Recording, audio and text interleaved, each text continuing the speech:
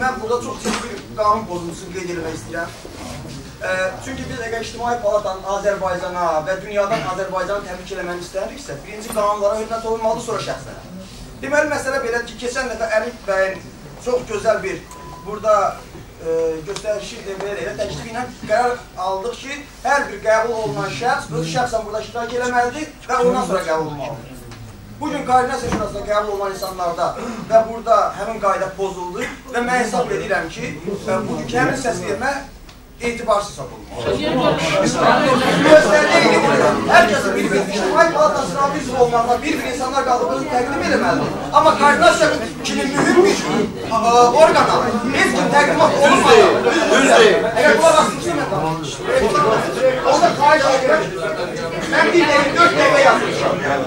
Asardınız təklif. Xeyr, mən xahiş edirəm. İndi başqaları da belə eləyə bilər. Mən 4 dəqiqə çıxacağım. Çox çox üzr istəyirəm. Çox vacib məsələni də qeyd etmək istəyirəm. Biz keçən dəfəki e, İctimai Palatada olan təklifləri nəzərə almağınızı xahiş edirəm ki, biz keçən dəfə təklif elədik ki, e, İctimai e, Palatanın Koordinasiya Şurasında gənclər də təmsil olsun. Çünki Azərbaycanda inqilabı gənclər edəcək. Eşq olsun. Digər bir məsələ. Mən edirəm ki, mən o koordinasiya şurasında bu gün üzv olan insanları çox-çox dəyərli insanlardır. Mən burada şəxsləri müzakirə eləməyin tərəfdarı deyiləm. Qanunların aliliyinə hörmət eləmək ictimai palatadan başlamalıdır və Azərbaycan xalqı görməlidir ki, qanunlara hörmət edən bir qurum Azərbaycanda hakimiyyətə gəlir. Sağ ol.